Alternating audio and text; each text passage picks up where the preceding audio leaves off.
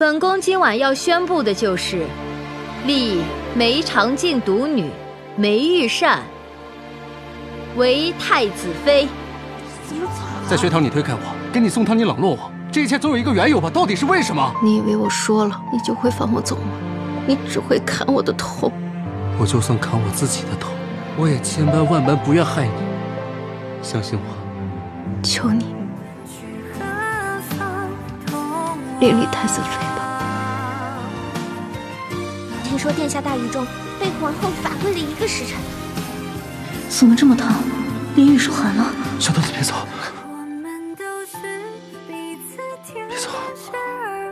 再见了，小师傅。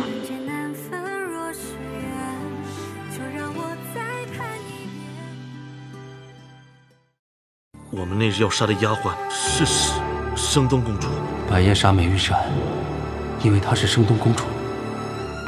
美玉扇分明是丞相千金，难道小豆子？小豆子真被抓进东宫了？他被关在客房里。开门呀！他还没吃东西吗？骂了一天一夜，什么都没吃。太子留他在东宫，是为了护他周全。眼前已是万丈深渊，不如早日悬崖勒马。所以白夜请命，带小豆子离宫。你。休想带他离开皇宫半步！殿下与小豆子的儿女私情，与整个极西的江山社稷相比，孰轻孰重？了！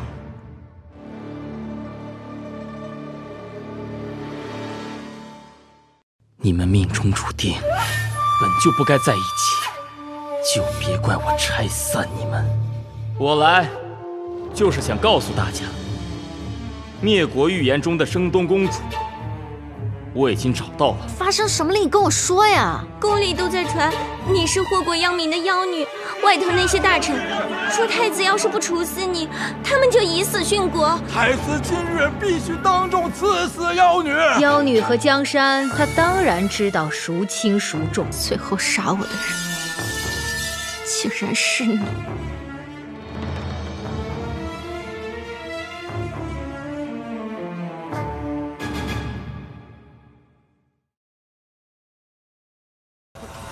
敌军来袭，关闭宫门！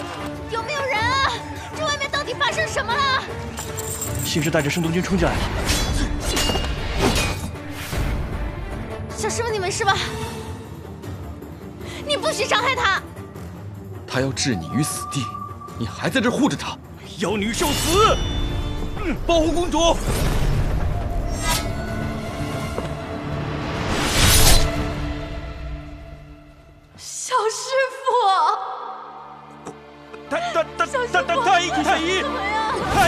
殿下，殿下，小师傅。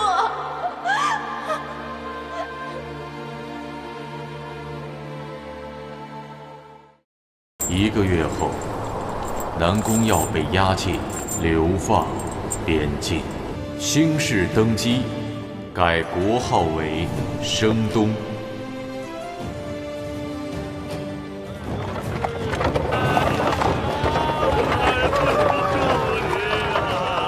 这这还不能开啊！快闪开！一边去！